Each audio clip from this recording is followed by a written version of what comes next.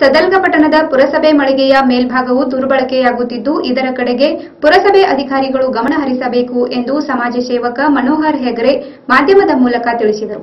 ಸದಲ್ಗ ಪಟ್ಟಣದ ಬಸ್ ನಿಲ್ದಾಣದ ಪಕ್ಕದಲ್ಲಿರುವ ಪುರಸಭೆ ಮಳಿಗೆಯ ಮೇಲ್ಭಾಗವು ದುರ್ಬಳಕೆಯಾಗುತ್ತಿರುವುದನ್ನು ಕಂಡ ಮನೋಹರ್ ಹೆಗ್ರೆ ಐಸಿಬಿಯೊಂದಿಗೆ ಸ್ಥಳಕ್ಕೆ ಭೇಟಿ ನೀಡಿ ಪರಿಶೀಲಿಸಿದ ಅವರು, ಪುರಸಭೆ ಅಧಿಕಾರಿಗಳು ಇದರ ಬಗ್ಗೆ ಗಮನ ಹರಿಸುವಂತೆ ಮಾಧ್ಯಮದ ಮೂಲಕ ತಿಳಿಸಿದರು. ಬಸ್ ನಿಲ್ದಾಣದ ಹತ್ತಿರವಿರುವ ಪುರಸಭೆ ವ್ಯಾಪಾರ ಮಳಿಗೆ ಈಗಾಗಲೇ ಬಾಡಿಗೆ ಮುಖಾಂತರ ನಿಲಾವ್ ಮಾಡಲಾಗಿದೆ. ಆದರೆ ಮೇಲ್ಭಾಗದ ಮಳಿಗೆಯನ್ನು ಇನ್ನೂ ಬಾಡಿಗೆ ನೀಡದ ಕಾರಣ ಖಾಲಿ ಇರುವ ಮಳಿಗೆಯನ್ನು ಸಾರಾಯಿ ಸೇವನೆ, ಸಿಗರೆಟ್ ಸೇದುವುದು ಹೀಗೆ ತಮ್ಮ ಕೆಟ್ಟ ಚಟಗಳಿಗೆ ಬಳಕೆ ಮಾಡಿಕೊಂಡು ಕೊಳಕು ಮಂಡಲವಾಗಿಸಿದ್ದಾರೆ. ಈ ಅಹಿತಕರ ಘಟನೆಗಳನ್ನು ತಡೆಗಟ್ಟಲು ಪುರಸಭೆ ಅಧಿಕಾರಿಗಳು ಮೇಲ್ಮಳಿಗೆಗೆ ಹೋಗುವ ದಾರಿಯನ್ನು ಕಡಿತಗೊಳಿಸುವ ಕಾರ್ಯವನ್ನು ಮಾಡಬೇಕು ಎಂದು ಹೇಳಿದರು.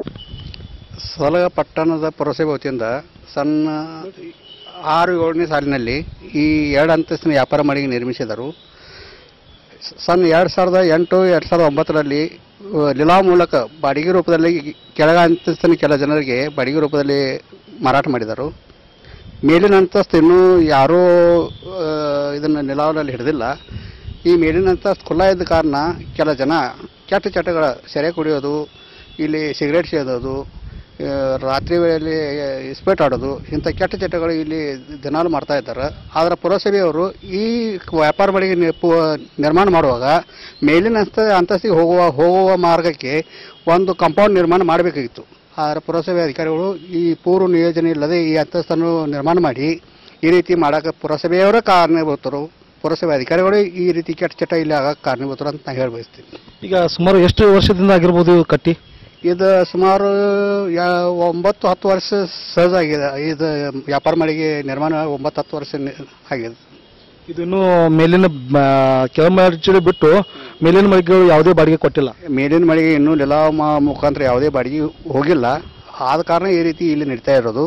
ಇದಕ್ಕೆ ಮೇಲಿನ ಮಳಿಗೆ ಹೋಗಕ್ಕೆ ಬಾಗಿಲಿಗೆ ಒಂದು ಕಬ್ಬಿಣದ ಕಂಪೌಂಡ್ ಮಾಡಿದ್ರೆ ಇಲ್ಲಿ ಎಲ್ಲ ಇಂಥ ದುಶ್ಚಟ ಆಗೋದು ನಿಲ್ ನಿಲ್ತೈತೆ ಅನಿಸ್ತೈತಿ.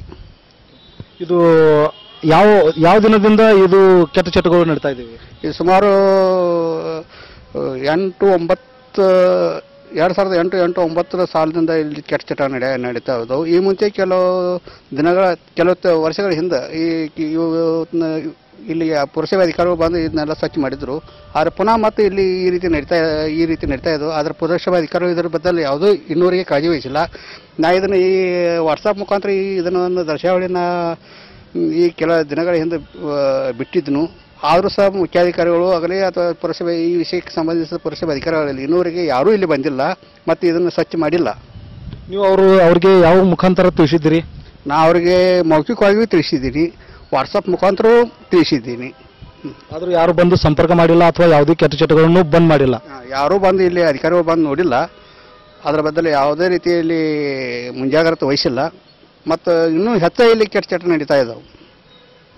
ಅಂದ್ರೆ ಈ ಕುಡಿಯೋದು ಮದ್ಯ ಮತ್ತು ಧೂಮ್ರಪಾನ ಬಿಟ್ಟು ಅದಲ್ಲದೆ ಮತ್ತು ಅದಲ್ಲದೆ ರಾತ್ರಿ ಅನೈತಿಕ ಚಟ ಕೆಟ್ಟ ಚಟಗಳು ಇಲ್ಲಿ ನಡೀತಾ ನಡೀತಿರಬಹುದು ಇದಕ್ಕೆ ಯಾವ ರೀತಿ ಪರಿಹಾರ ಅಂತೀರಾ ನೀವು?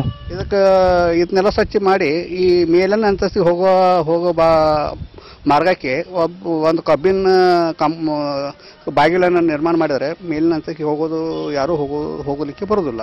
ಇದನ್ನು ಮಾಡಲೇಬೇಕು ಪುರಸಭೆಯವರು ಇದು ನೀವು ಎಷ್ಟು ದಿನದ ಅವಶ್ಯ ಅವಕಾಶದಲ್ಲಿ ಪಡಿತೀರಿ ನಾ ಇದನ್ನು ಒಂದು ತಿಂಗಳೊಳಗೆ ಅವ್ರು ಮಾಡಬೇಕು. ಓಕೆ. ಸದಲ್ಗ ಪಟ್ಟಣದ ಈ ಒಂದು ಮಹತ್ವವಾದ ಮಳಿಗೆ ಕೇಂದ್ರ ಅಂದರೆ ಈಗ ಕೆಳ ಕೆಳಮಳಿಗೆಯನ್ನು ಈಗಾಗಲೇ ಸರ್ಕಾರದವರು ಬಾಡಿಗೆಯಲ್ಲೂ ಕೊಟ್ಟಿದ್ದಾರೆ. ಆದರೆ ನಿಲಾವು ಮಾಡಿ ಎರಡನೇ ಹಂತದ ಏನು ಬಾಡಿಗೆ ಇದೆಯಲ್ಲ, ಅದು ನಿನ್ನ ಇನ್ನೂವರೆಗೆ ನಿಲಾವ್ ಮಾಡಿಲ್ಲ. ಆದರೆ ಆ ನಿಲಾವ್ ಮಾಡದೇ ಇರುವ ಕಾರಣ ಇಲ್ಲಿ ಕೆಟ್ಟ ಚಟಗಳು ಧೂಮ್ರಪಾನ ಆಗಲಿ ಮದ್ಯಪಾನ ಆಗಲಿ ಆದರೆ ಇನೈ ಅನೈತಿಕ ಸಂಬಂಧಿಗಳು ಇಲ್ಲಿ ನಡೀತಾ ಇದ್ದಾವೆ.